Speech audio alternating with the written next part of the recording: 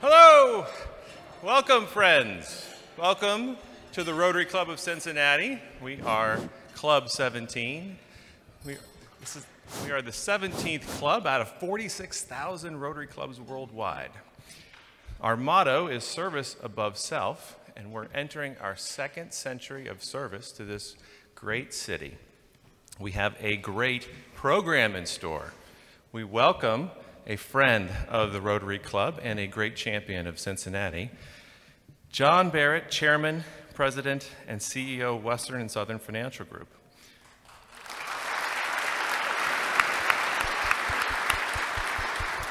You have a lot of friends here, John. We appreciate you being here. We're all looking forward to your remarks. We're going to begin our meeting with the national anthem, led by Janet Metzelar and accompanied by Steve Haber.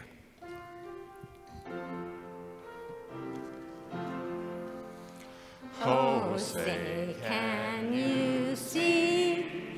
By the dawn's early light what so proudly we hailed at the twilight's last gleam, whose broad stripes and bright stars through the perilous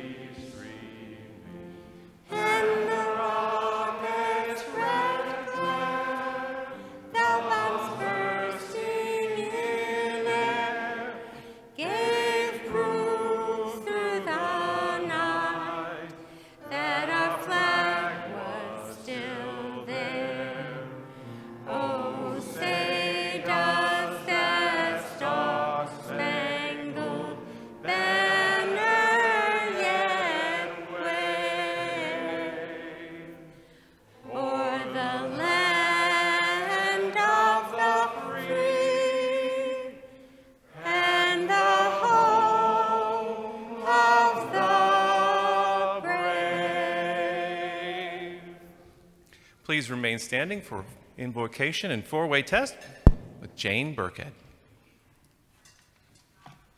It is wonderful to see everybody at Rotary today. Please pray. Dear Lord, you have given us a strong desire to do good, to be honest, to serve others. And as we celebrate spring and spiritual holidays, let us be reminded also of our faith and our obligations to our neighbors to, and to humans to do good to be honest and ethical in all of our dealings, and to serve others.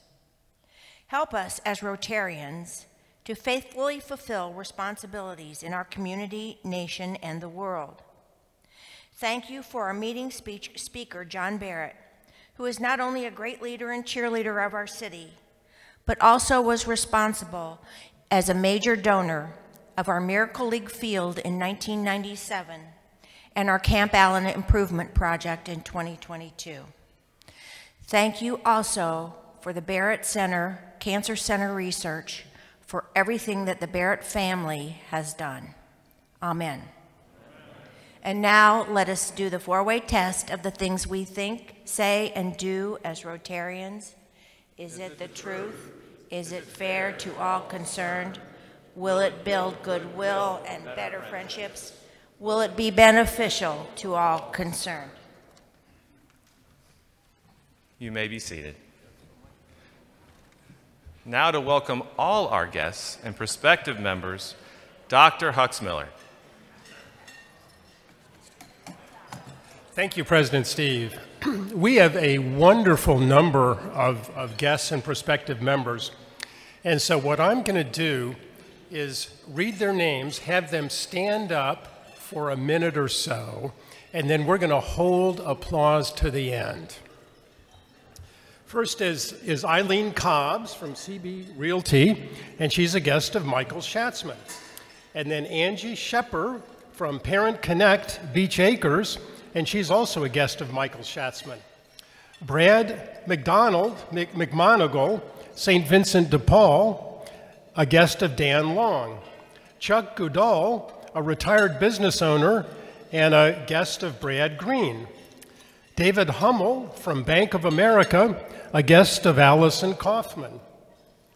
Deb Silverman, GE Aerospace, a guest of Michael Schatzman. And Dr. Carolyn Bates, who's a, who's a dentist with Equitas in Dayton. Emil El Chamas, town money saver, a guest of Michael Schatzman. And Emily Moss, who's a nutritionist, and she's a guest of Stephanie Sheard. And Jason Jones, GE Credit Union, a guest of Michael Schatzman. Kate, Lind Leonard from St. Vincent de Paul, and a guest of Dan Long. Linnea Nadel, Property Management, a guest of Lori Leonard. Matthew Worthen, uh, Dignified Learning, a guest of Michael Schatzman. Michael Fitzgerald, Mortgage House of America, a loan officer, guest of Owen Rassman. Mike Klein from NRL Mortgage, a guest of Michael Schatzman. Nicole Fariello from Zeal 4.0, a uh, marketing firm, and a guest of Sarah Pattison. Patrick Ober from Stepping Stones, a guest of Chris Adams. Rosalind Phillips, my guest from Restavek uh, Freedom Foundation, working in Haiti, and Rosalind is going to, to uh, classification this afternoon. Scott Hall, under the weather, a guest of Kelly Mayen. Stephen Easley from Easily Blessed, a guest of Michael Schatzman. Sydney Prochaska from Mount St. Joseph University, a guest of James Williams. And Daniel Betts, uh, who is the executive director of the Cincinnati Recreation Center, and a guest of Lydia Steck. And then we have several guests of our speaker, Mario San Marco, David Nevers, and Diane Plank, all from Western and Southern. So thank you so much for not applauding.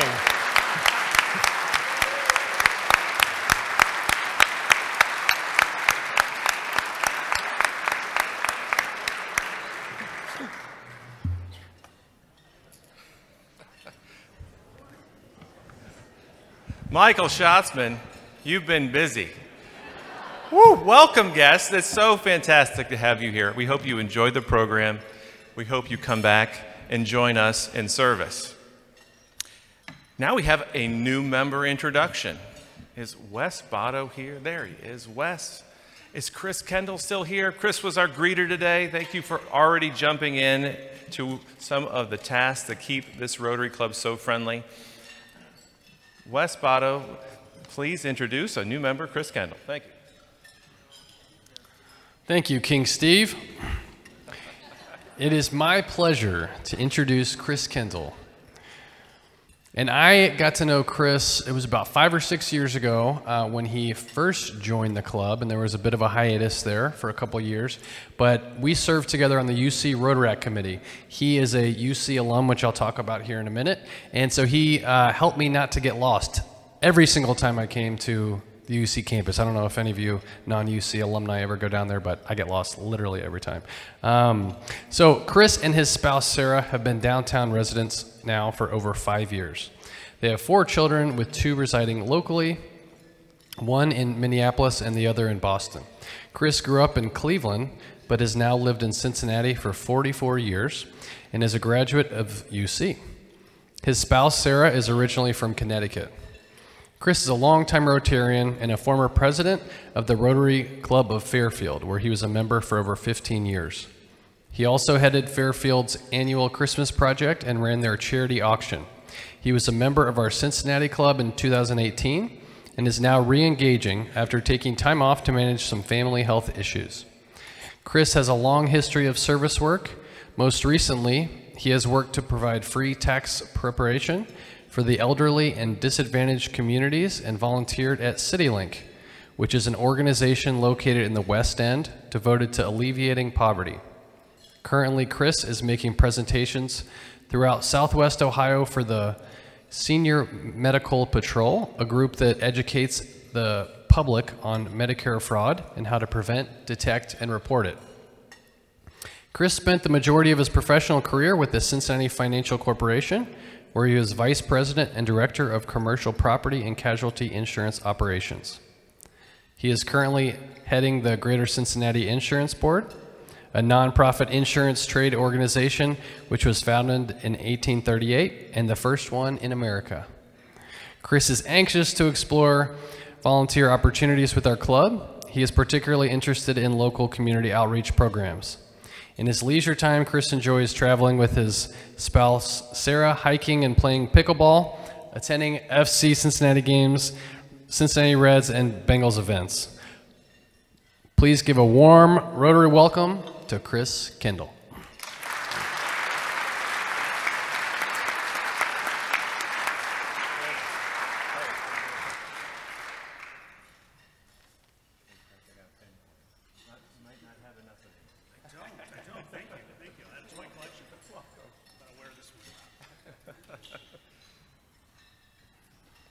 Wes, thank you. Chris, welcome. So great to have you back in the club and bringing all your talents and, and service above self. Thank you. Few announcements. This week's meeting is sponsored by Rotarian Tim Hirschner and Hirschner Properties. Tim sends his regrets he couldn't be here today, but next time you see him, thank him for sponsoring today's meeting. Thank you, Tim. Birthdays. Please wish a happy birthday to the following members Jane Burkhead. Happy birthday, Jane. Pat Neal Miller. Happy birthday, Pat. Tom Ruthman. Josh Vogel. I think you're here too, Josh. Happy birthday today. Brian Bowling. Happy birthday today. And Jim Yunker. Give a shout out to Jim Yunker. Happy birthday, Jim. There you are. So, some family of Rotary news. We were recently informed that 2012 2013 past district governor Peter Weigelin passed away last Friday, March 31st, at Mercy Anderson Hospital. He was a member of the Rotary Club of Batavia. We're also sad to announce the sudden passing of a good friend to all and past Cincinnati Rotarian Al Campbell on March 26th. Al would have been 93 in just a few weeks. Celebration of Life will be held in Cincinnati on May 12th at the Spring Grove Funeral Home. Rest in peace, Al. Please keep Rotarian Dr. Charles Pierce in your thoughts and prayers for a speedy recovery. He had a recent fall and went to UC Medical Center. He broke his wrist and punctured a lung, but he's recovering. He's recovering for at least a couple weeks at the Marjorie P. Lee Rehabilitation Center. Finally, some good news. Rotarian, sorry, Rotarian past president and past district governor Bill Shula received a Master School Board Award in March. Presented by the Ohio School Board Association, he was the only school board member in all of Southwest Ohio to receive this award. Congratulations, Bill. There you are. Congratulations. Oh, split the pot. Thank you for your spirited split, split the pot contributions. Split the pot supports membership development and makes this a very friendly place to come visit. Also makes it potentially very lucrative place to visit. There is the winning ticket. It's $81. If you if you are a Cincinnati Rotarian and you pull the winning ticket, you can draw for the Queen of Hearts. And that revolving pot is up to $1,752. So, John, I think I sufficiently mixed this up. So.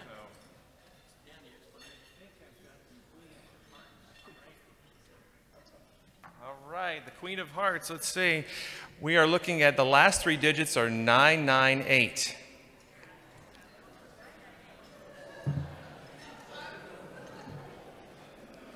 Nine nine eight. It's a green ticket. All right, Jim. All right.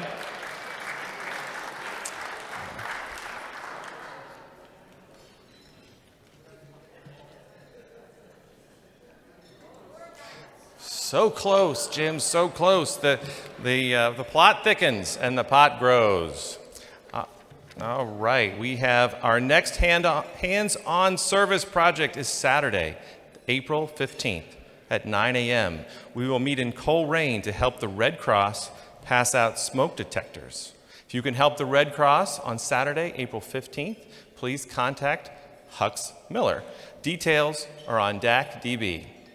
Our next neighborhood coffee, Michael Schatzman, is held on Tuesday, April 25th from 8 to 10 in Unataza Coffee, just across the river in Bellevue, Kentucky.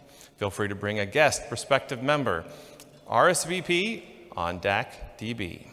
And don't forget to RSVP for the next professional development series, which will be held on Thursday, May 4th at 11 a.m. before the Rotary meeting. Attendees will join James Lenhoff, author and coach, to learn more about a coaching model that will change your relationships forever. And now, I'd like to turn the podium over to Al Conscious to introduce our speaker.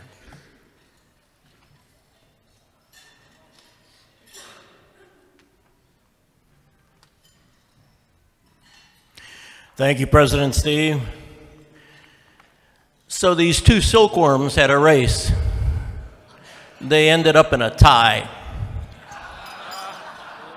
I'll wait. They ended up in a tie. I'll tell you later.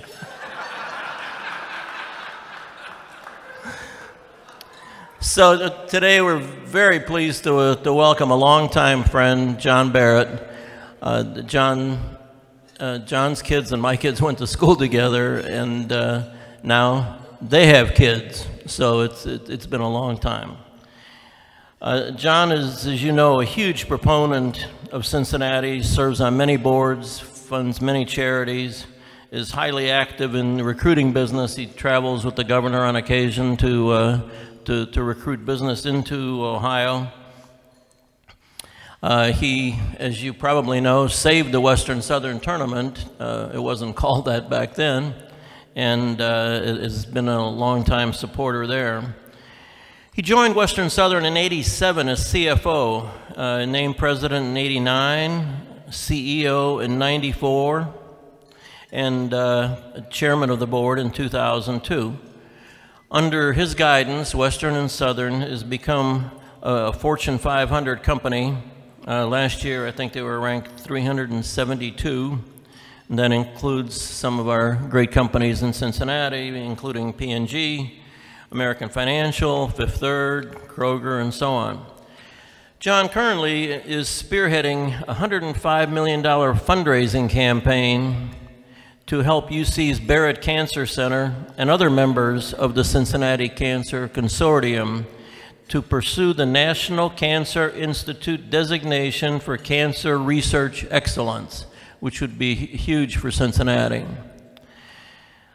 Uh, among other uh, things that John does to help, uh, today he's staying behind, and you've, you've heard the announcements about Cincinnati Do Days. We're having a little video made up that we're going to play as PSA announcements and on Fountain Square and so on. And uh, John has kindly agreed to be one of the uh, future promoters of that. So please welcome John Barrett.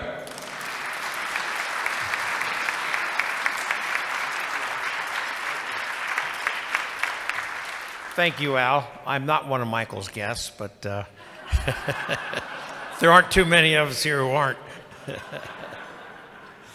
When I was um, uh, thinking about this talk today, I thought could go a lot of ways, a lot of different ways. Our city's in transition, our country's in transition, and um, you know we got to kind of come out of this thing ahead of the game. Then this morning I was briefed on a AI uh, initiative that is going on, and I hadn't focused in on it. I just joined that uh, chat uh, GPT, I think it is, about 20 minutes ago or an hour ago. Uh, I, d- I mean, they raised 100 million members in six months. But what I was, you know, we all talk about disruptive, oh, it's a disruptive technology. This is really disruptive. It's scary. You talk about groupthink and organizing it and how two or three people can influence the world. It's all wrapped up right there. So you have the founder of uh, one of the, uh, Wozniak and four or five other very, very smart guys, including Elon Musk, have said, I think we need to slow this thing down. With that, though, you know, I was earlier in the week at a meeting with Lieutenant Governor and, and uh, seven or eight CEOs from around here, and he was talking about the need for uh, more education, teach more people, turn out more graduates, et cetera, et cetera, et cetera. I think he's wrong. I think we're going to have too many people here soon, and that the technology is going to do an awful lot of the work. So I called him today, or he called me. We, we talked. He said, I'm not going to disagree with you. What I'm hearing is not that dissimilar. So I know we've got a college president over here, um, and all of you guys have children and grandchildren who are entering this new world. I'd try to get them as facile with technology as you possibly can because the thing is changing at breakneck speed. And many jobs and many of our companies will be no longer necessary. And many of the things that we held close to our heart can be changed with some disruptive factor putting out a tweet that says this isn't going to work. And they may be totally wrong, but totally biased. And you could be totally out of business. That's what's coming. So I'm thinking about Cincinnati. We're trying very hard to build our technology skills, and I think we're coming, coming along well. But I saw what Columbus did with uh, Intel. And while at first it sounds like it's a great win for Columbus, I don't know what it's going to do to their workforce because why would you work at Nationwide at 70,000 a year if you can go across, you know, half an hour away for 140 or 50? I mean, I don't know that this is going to work. So we at Western Southern have been involved with the uh, city for you know, 135 years. Keeps evolving, keeps changing. My sense is we're at that place right now where we have to start spending our money smartly, much more smartly than we have in the past. And whether you like or dislike the skywalks, the streetcar, or a lot of the things that we have done, we better start getting a return on our investments pretty soon. We're going to be a redundant city. Uh, you can't do the nice to haves, we got to do the what we needs. And I'm joined today by my colleague Mario San Marco, who was the only guy I was allowed to recruit out of the bank in New York, not because I wasn't allowed to, but the CEO knew us both and liked us both and told me, pigs get fat, but hogs get slaughtered.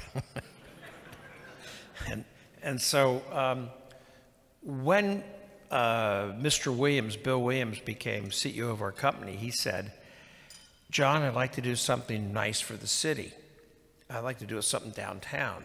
So Mario and I got together. This is like 1988. got together, and we had both been in Lower Manhattan for our careers. Just north of Lower Manhattan was some pretty tough neighborhoods. And we had seen how entrepreneurial investment, not city funded investment, but entrepreneurial funded investment started with some bars and some restaurants, some small, very small breweries. Now you've got one of the hottest neighborhoods in the world in places that you couldn't walk 30 years ago or 40 years ago. We thought, why not here? So we picked the toughest two blocks of Cincinnati south of Liberty Street on Walnut between 12th and 14th. And we built what's called Brackett Village. But in order to do it and get to where we could start this over the Rhine Renaissance, Mario and his colleague Tom Stapleton worked with the developers, with the community, with member Buddy Gray. He went from being a very big opponent to a very good friend. We worked with all of those guys up there, and Mario and Tom won them over. And we built Brackett Village, which we still own today. People want to buy it because it's so nice. It's over 100 units and it's doing very well. But what's important about that is we took a chance. Nobody followed. We were up there alone for a good 10 years. In that process, Mario and his colleagues bought an awful lot of property from people who wouldn't have wouldn't sell to anybody else because they trusted him. And that was a key start of the Over Rhine Renaissance. Later, when 3CDC was formed, we um, sold all the property we had that wasn't associated with Brackett Village to 3CDC at cost. This is stuff they never, ever could have bought. Long Vine Street, remember where Cincinnati Color was? Kaze Restaurant, all that stuff. That gave them, and we, and we decided to do that because we wanted to do our end of downtown. We could see that downtown was ossifying and that over the Rhine, with 3CDC's free money, could do a lot up there. And so we sold our property to them and we moved downtown. So in 2008, the um, financial crisis hit and hit with a thud. We decided, let's build a new office tower that would make Cincinnati a city people would want to come to. We started the planning heavily and we christened Queen City Square at, on 1 11 11 at 1 11 p.m. That's the only way we could remember. and um, we had three major leases, took 90% of the building. The building is totally filled. And uh, it continues to do well and is still the anchor. More of the city has moved its way because the way real estate works is you um, good things beget good things. You can build a beautiful building in a cornfield, nobody will build anywhere around you. These are communities. They're not just tall, beautiful buildings. They have to, they have to make things happen around them. And that building really did. So anyway, we were like moving along through this stuff and, and we said, well, what in the world do we want to see? What do we want our city to be? We knew we wanted a city that people would want to come back to who had left and people who would come here and stay here if they came with a P&G or a Kroger or somebody. In order to do that, we had to do more. We had to get the city going in many ways. We are a very parochial town. If somebody has an idea, eight guys hate it. You ask them why. I don't know. That guy came up with it, you know. And so it, you know, you kind of really, you know. And so we decided to be different. We didn't use subsidies. We moved companies to Cincinnati without going to the state with our hand held out. Yet we're looking at our other Fortune 500 buddies getting free parking garages and all that stuff. And then we said, that's a good deal, but that's not the right deal. We're going to do our deal. So over the last, you know, since since the 15 years since the Great Recession hit, we've got three of the best hotels anywhere in downtown Cincinnati. The Lytle is considered the second best autograph hotel in the world, not the country, not the state, the world, and the best hotel in the whole Indiana, Kentucky, Ohio axis. It's excellent. But right across the street, we have the Phelps, we're putting several million dollars into their kitchen right now because we believe that the takeout dinner business is going to be a real big deal. And we think we're going to have a very good chef uh, run it. And we think that you guys on your way home at night might say, I don't feel like going to a restaurant, but I wouldn't mind having a great meal. Call that place and go in there 50 minutes later, and they'll run it out to your car, and it'll be great. Um, I know a lot of us do that with some of the other restaurants in town, but we want something special. We think it's going to work. So while we were at it, um, we made a deal with the city to upfit the park. The park is going to be the nicest park you ever saw, including a quarter of a mile rubberized running track throughout the whole thing. And I think it'll actually be people walking as opposed to running. They're going to want to get their exercise in, but city sidewalks are kind of tough on the knees, and this will be a lot better for them and we're going to put a beautiful fountain in it and 31 new trees, all to be lighted. It'll be great. People will love it. Well, next to the park is a building that the previous management of our company built over 50 years ago over the interstate, first time that ever been done. It's called the 550 Apartments. We did a total gut job, and we're going to bring that back, and hopefully by Labor Day, we're going to have 26 brand new, state of the art apartments that people are just going to love. And guys say to me, Well, who in the world's going to live in an apartment when they can buy a house? Anybody who doesn't want to mess with maintenance, taxes, neighborhood problems, and security, on and on and on. It's not going to be a tough deal, and it will be pet friendly. So, as we go through this thing and work on our city, we keep coming back to some of the points that have, have gotten away the parochialism of the city. We've got to break it. We're in competition with the rest of the world. And people say, well, what can I do? What you can do is you can encourage your friends in the Chicagos of the world to think about moving their businesses here. This is a much better environment. And earlier this week, they put the wrong person in as their mayor. So I think the exodus will accelerate. I really do. And um, they had a free choice. I mean, no one saw this one coming. But uh, that's the way people want to live, that's fine. But I know the business guys don't want to live that way. And the guy who ran the Citadel, runs the Citadel um, hedge fund, which is the world's largest and most successful, took his business to Miami from Chicago. No more Illinois taxes. By the way, he had a record year last year. This, I love this. Earlier in the week, I read he attributes to one phrase no work from home. Everybody's in and engaged in mentoring, learning, sharing. We got through COVID. Let's keep going. Let's get back to work. It, it's tough. I know in my own case, we, we were able to get a dispensation from the governor to keep our offices open all but about probably 30 days. But it's only been in the last three or four months that I personally feel like I'm re engaged like I was. Not from an hours of commitment standpoint, but from revolutions per minute. And too many of my colleagues and friends are not there and are never going back. And they want you and me to pay their bills. We put $5.9 trillion out over the last three years to keep people at home. Well, that baby's over. Steve Mnuchin sat in my office and said, We left Biden with 900 billion unspent money. That's all he needed. And he added 5.9 trillion to it. Why do we have inflation? Gee, I have no idea. Uh, I was with Governor Sununu earlier in the week, and he's, he's, he's running for the high office, good guy.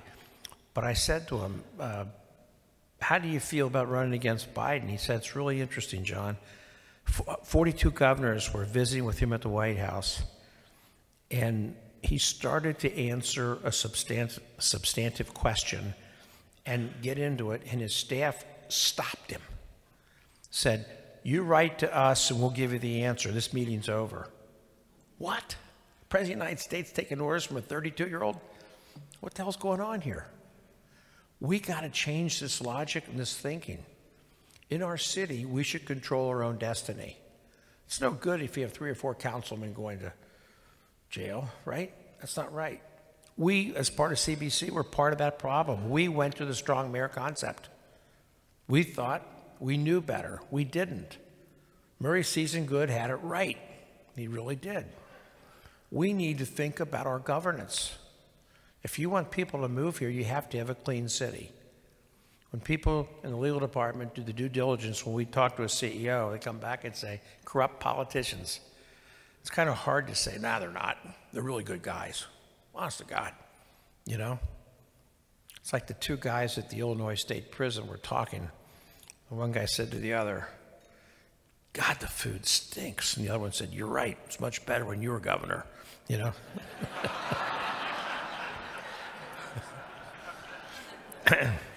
well, long story short, a lot of stuff we got to do. We got to rework our political structure. Health care. New York City has four major healthcare systems Greater Cincinnati has seven. What do you think the administrative costs are there? 40, 40%?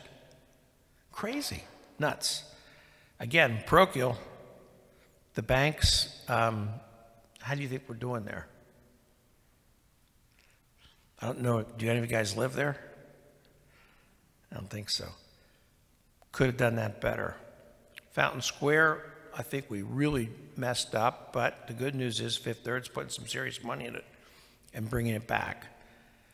Retail strategy, we need a new one. When we took the skywalks down, it took the, the people like in my office out of the shopping downtown because it was safe, convenient, and fun. They quit shopping downtown seven or eight years ago. We need to refocus on the river. If you look from a building down the river, there's nothing, there are no restaurants anymore in the river. There's no action on the river. We got to get that back. And part of that has to be we got to light all the bridges, every one of them. Really nice lighting. Newport on the Levee will open in a year or so, and it'll be it'll be very active. And we have the old L&N Bridge, or the uh, Purple People Bridge now, to link the two.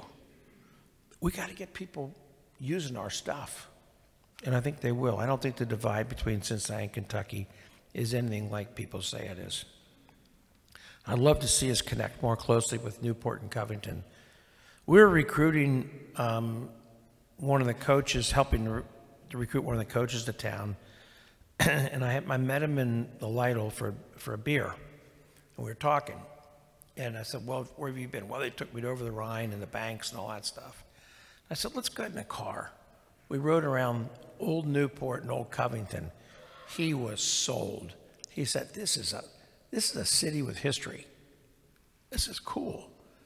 And he's a wonderful guy, and we hope to keep him. But you know, in life of coaching, maybe he'll be here, maybe he won't. But but at least he'll leave and say good things if he doesn't stay.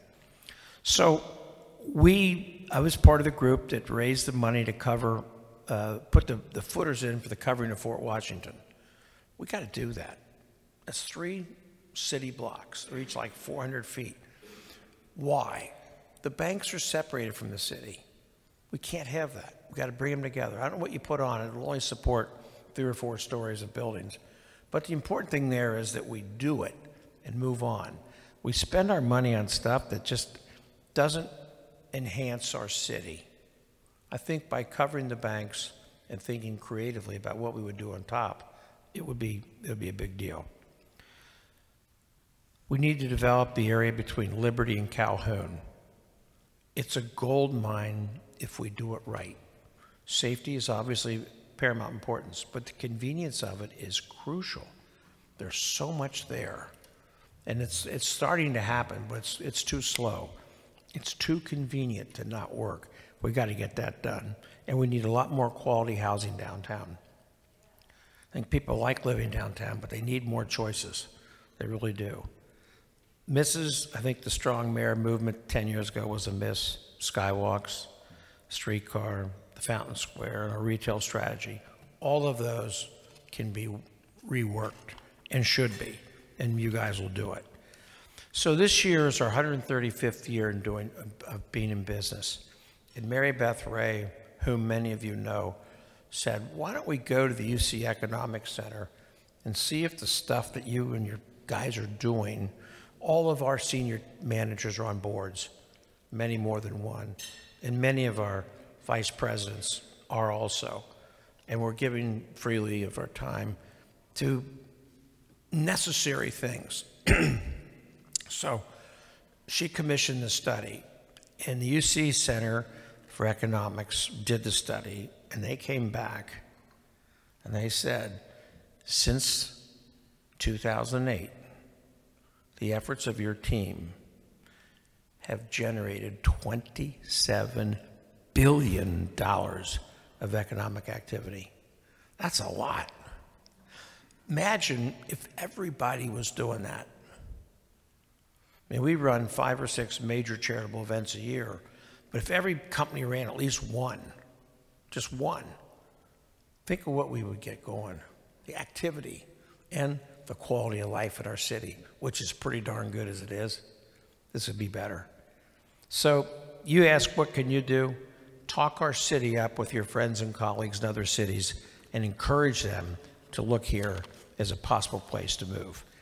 Now, I was asked to take questions, so rather than go through a speech, I'd, I'd, I'd rather open the microphone up. If it's really complicated, either David Nevers or Mario or Diane can handle it, because I just work here.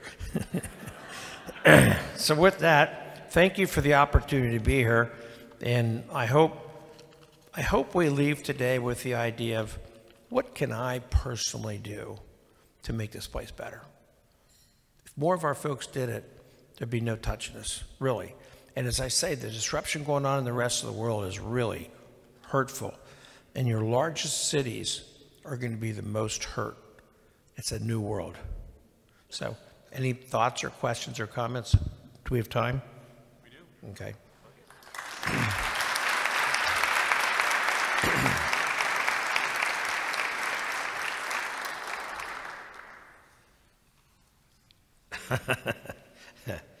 my, my favorite media mogul.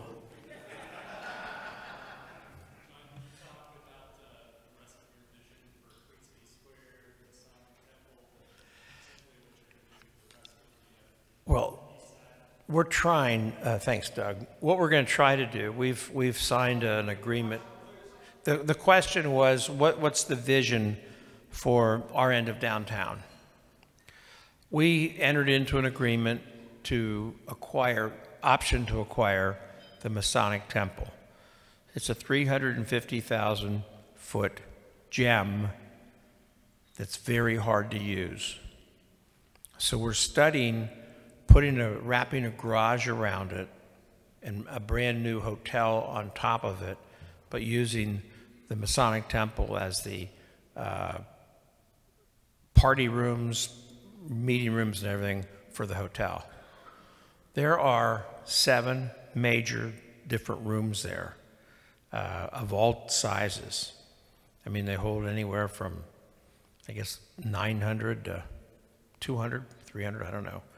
And I, I went up to Chicago six or eight months ago to see a, a place up there called, the, I think it's called the Metropolitan Club. It's not downtown and it's the same kind of building, and they have 55 hotel rooms on top, but the life in that place blew me away. You were never more than 50 yards from a barista. Uh, there were families there. There were people working out. Rooms this size. The Masonic Temple has, I'd say, four rooms this size and three bigger, plus a 320 person church. Um, all that stuff is in there. But rooms like this would have, at, at the place in Chicago, 100 fitness machines. And there'd be 35, 40 people working out. I guess they were working from home because it was in the afternoon, it wasn't at night. but there were mothers there with their kids. The whole thing was just, you can do it. The question is, do we have the scale to do it here? Do we have the people who would use it here? My sense is, yeah, there is. And, and so that will be another thing we're working on, Doug. If we got that done properly, um, and, and if it worked, it would be a game changer for our city. Really would. You know, we're struggling with the convention center. They want to, um, question is, do you build a new one or just renovate what we have? The, the question that we have at our shop is, what's the future of conventions? probably always will be places like Las Vegas that are going to have big conventions because of the things that are outside the convention. But are people still going to go to those when so much can be done from your computer in your office or your home? I just don't know. So why spend half a billion dollars and be wrong? Heritage Bank Arena, yeah, I, I kind of think that's well past its time. Built on the cheap, operated to make money, but not to attract people. That'd be probably a smart move to redo that one or rebuild it. Yes, sir.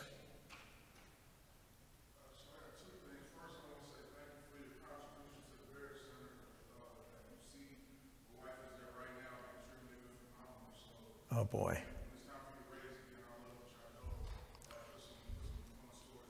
Thank you.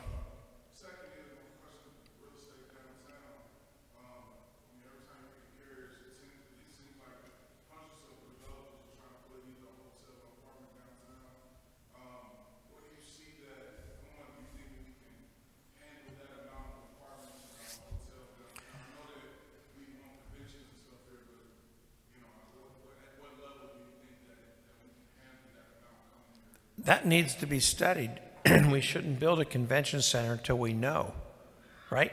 But I do think additional housing encourages additional spending and additional activity. You know, so I think, you know, good apartments, maybe condominiums would be helpful. There are plenty of um, plenty of opportunities here to take the C buildings and make them better. Unfortunately, many of the boutique hotels that have been put in, I, I don't know, I ask myself why. What is going to, who's going to encourage that person to go there? I noticed that a couple of the restaurants in those places have closed already. These not, they're not very old. There just isn't that traffic. There are 10,000 restaurant seats downtown right now. That's too many. Too many. So, our feeling is the hotel business has turned into the entertainment business. You've got to have stuff going on in your hotel to attract people. And we make an awful lot of money in our hotels by local people doing staycations.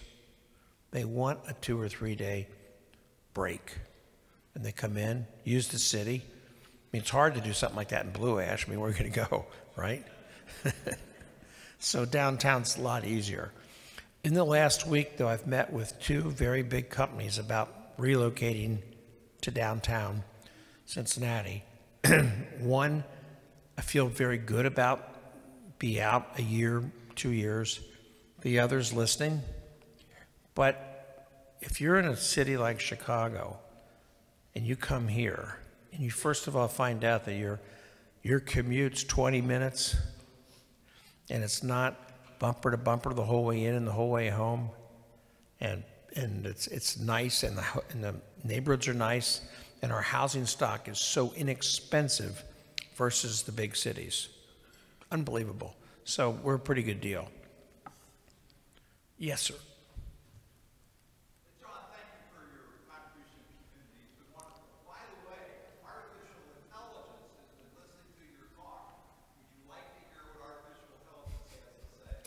Who is that crackpot? John Barrett, a man of great vision, spoke at Rotary with precision. His words were inspiring, his message clear of making Cincinnati a top-tier frontier.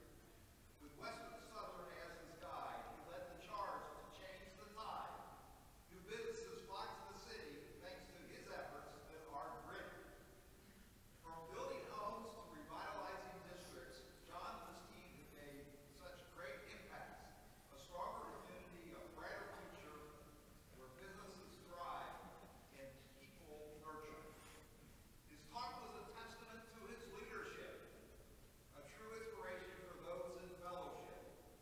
Let us all follow in his footsteps and make our own communities the best yet.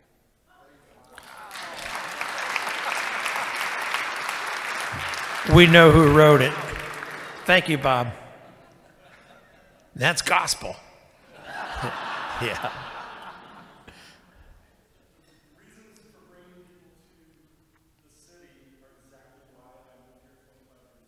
Good.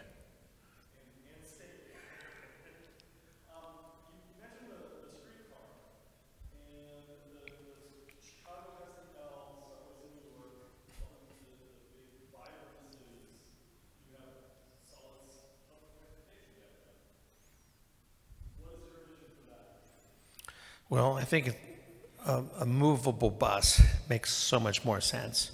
It can go where you want to go when you want to go there. They don't have to be 200 seaters, they can be smaller.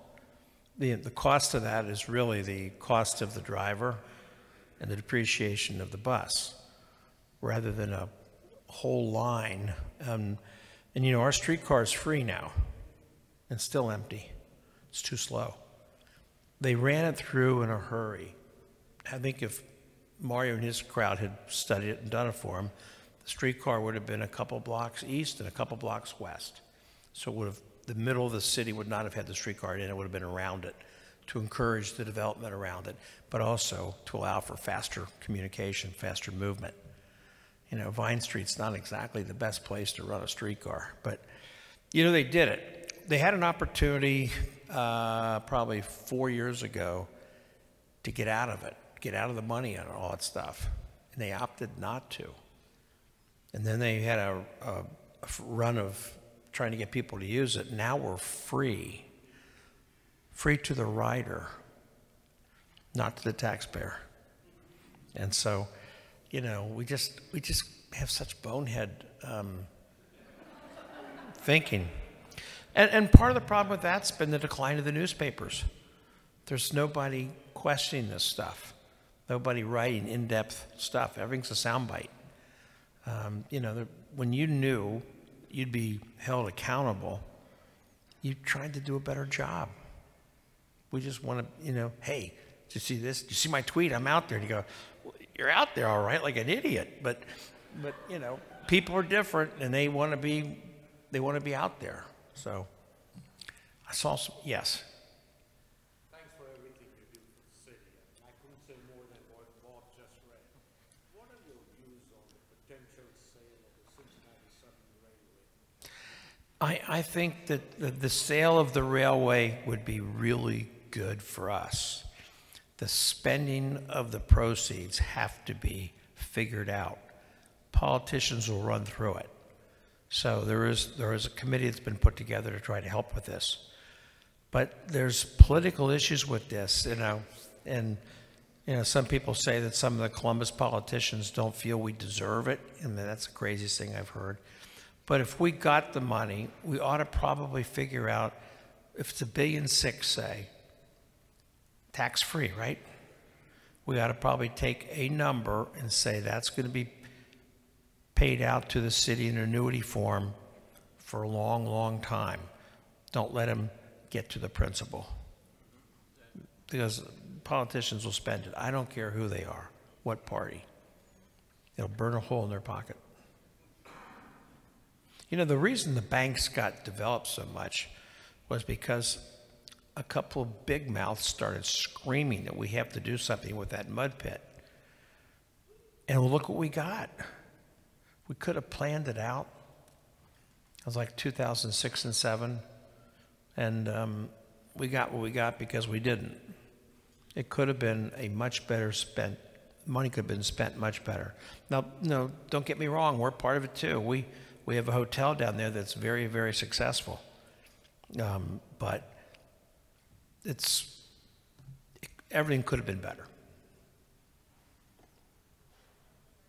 Other thoughts, comments, questions? Did everybody know Jane's getting married?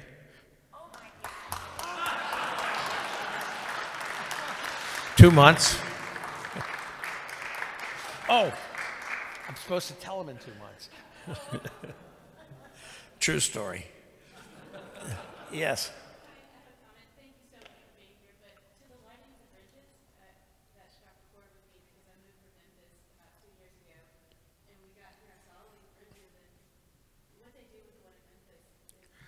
Every city does it right. Now you say, well, how do we ever afford that? Well, I've got an idea. Okay, what about lighting the bridges? I know this is going to cost. I'll say, I've heard there was an idea out there, so don't quote me. When Duke Energy merged with Cinergy, Cinergy had, I think, a $105 million foundation that went to North Carolina. I don't think you see a fraction of the donations coming back that we used to have from Cinergy. My suggestion would be we go to Duke and the CEOs of Cincinnatian and say, how about it? Get full credit and help us light the bridges. And, you know, it's right up their alley. So, to be to be uh, tackled yet, right? I think it could work. but we ought to. And we ought to have restaurants on the river, all that stuff. We need it and be fun. city's got to be fun. Yes. As you think about it, realize there's a new technology upcoming called frigid solar panels. So the bridge would actually be itself a panel that would light up those lights for you. And, and there would be no cost of energy to the city. But there's a cost to putting the lights on.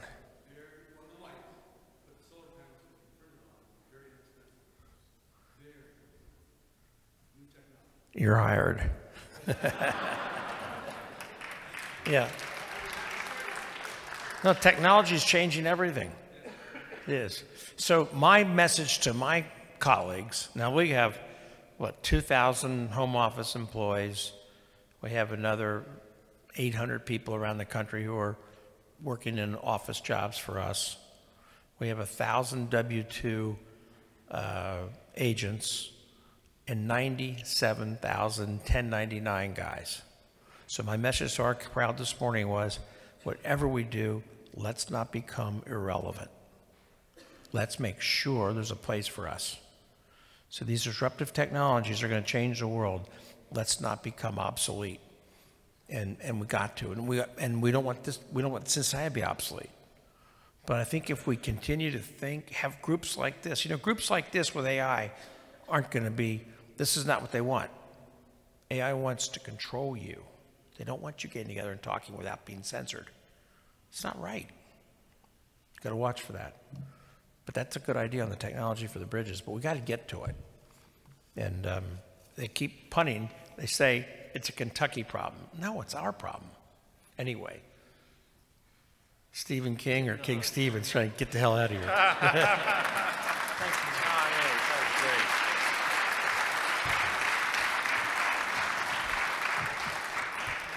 John Barrett, ChatGPT can't replace you, that's for sure. They might be able to replace me, but my goodness, that was fantastic. Thank you so much. And just like we have echoed, we appreciate so much your leadership for the city. I wrote down so many things on this paper, but promoting business, beautifying the city, promoting good governance, promoting charity in our city. I especially enjoyed the comments about what we can each do to make the city a better place on all of those fronts. In, um, as a token of our appreciation for your presentation here today, we wanted to give you a Rotary Club of Cincinnati coin. And on the back of it is that four way test that we recited in the beginning. We think it's one of the ways that we make the city a better place and contribute to this great city. We also wanted to make a donation in your name to the End Polio Now campaign. That's the, the four decade effort to eliminate wild polio from the planet. So far in 2023, there's one confirmed case in Pakistan. So we're not going to give up until it's gone, and it's gone for several years. But with your help and a little effort from Rotary and the Gates Foundation, we're going to see it eradicated. Um, also, extra thank you, John, for promoting Rotary Do Days. It's another way that we're trying to give back to the city. Let's give John Barrett another round of applause.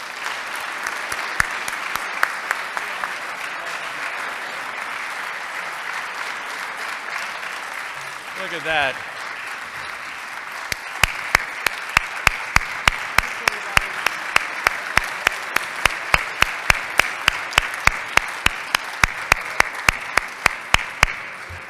Just a couple final announcements. We have two meetings. Classification meeting in the Julep Room. Environmental Sustainability is meeting in this room. Next week, we are not at the Hilton. It's a road show at the Metropolitan Club in Covington.